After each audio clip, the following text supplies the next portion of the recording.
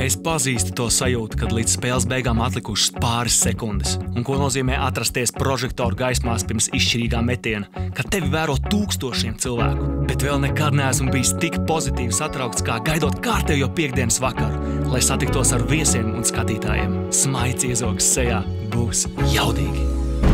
Vakars ar Renāru Zeltiņu. Piektdienās, 9.15. vakarā LTV1. Raidījuma ģenerālsponsors - dzirkstošais vīns Starley.